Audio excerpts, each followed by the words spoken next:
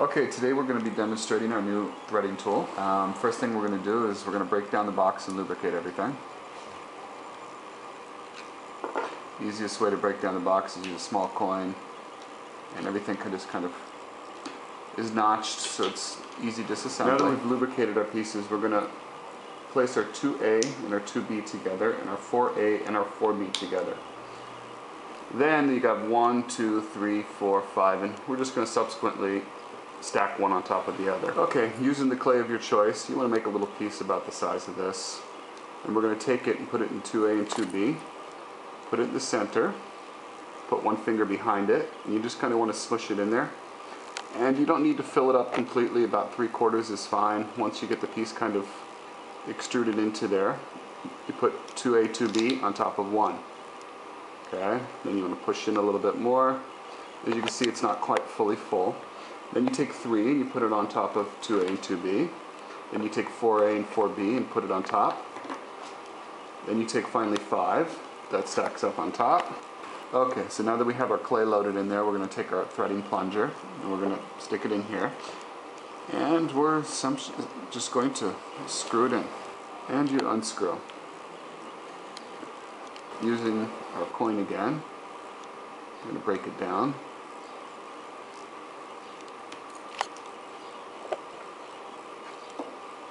And what we have here now is our basic female thread and we're going to just slice away a little bit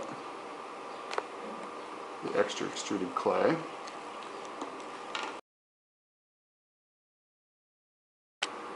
Now we're going to make our male piece. Of course we've already lubricated. Um, same principle um, as before. You assemble part A part B.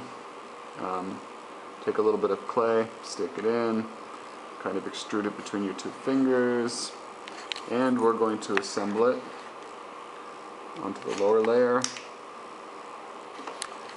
Push into it a little bit more.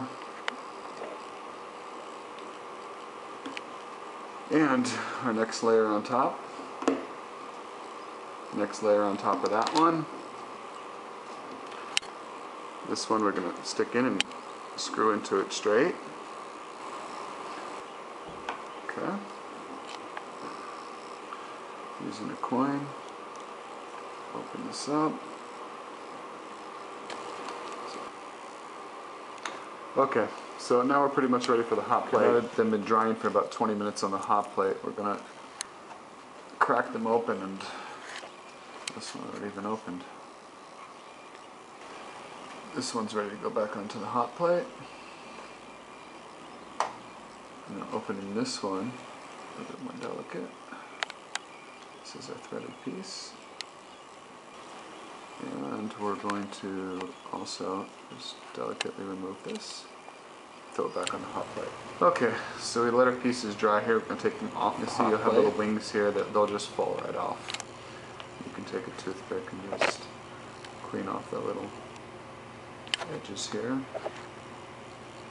Okay, so once your pieces are dry, you have to basically mate them together. And to do that, you're going to screw them in slowly but surely.